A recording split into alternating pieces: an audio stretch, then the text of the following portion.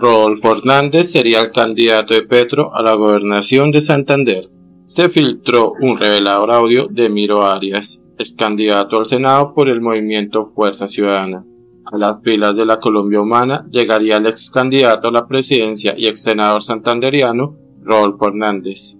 Se ha filtrado este lunes 6 de febrero un audio de Emiro Arias, ex candidato al Senado por el movimiento Fuerza Ciudadana, quien afirmó que Hernández irá tras la gobernación de Santander en coalición con su movimiento de Liga de Gobernantes Anticorrupción y el Pacto Histórico.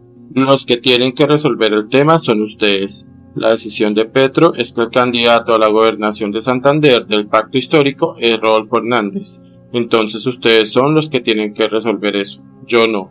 Yo a eso no le jalo. Dice en el audio Emiro Arias, a un hombre identificado como Antonio. De igual forma, aseveró que este tema era una decisión de Petro y de la Colombia Humana. Esa es la decisión ya acordada con Rol, e incluso advirtió sobre los cambios de ánimo del ingeniero santanderiano. Gana y manda para la mierda a todo el mundo. Conociendo a Rodolfo como es, él hace lo que se le da la gana. Emiro Arias también confirmó que el propio Hernández le había contado este hecho. Eso me lo contó Rodolfo, que ya se ha reunido en tres oportunidades con Petro y que ya habían hecho el acuerdo con la gobernación de Santander. Y si esa es la decisión de Petro, ustedes no pueden ir en contra de esa decisión.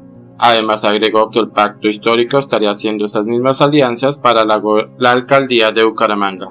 Ahora toca pedir permiso para ver si no puede ser candidato, concluyó. Incluso la revista Cambio este lunes dio a conocer esta decisión con el título de Un rol humano, el rumor de un posible apoyo petrista a su viejo contendor tiene con los pelos de punta a muchos dirigentes del pacto histórico en Santander, quienes convocaron a una asamblea urgente para oponerse a las pretensiones del ingeniero.